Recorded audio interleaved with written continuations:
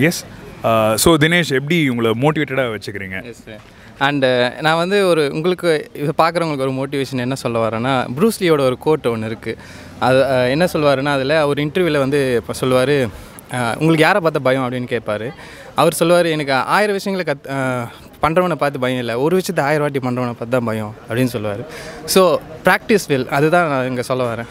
ஒரு விஷயத்தை ஆயிரம் வாட்டி பண்ணிங்கன்னா you you get the self confidence so that is one Okay. So beautiful coat. So thank you so much. All the best, Dinesh. Yes, okay. Thank you.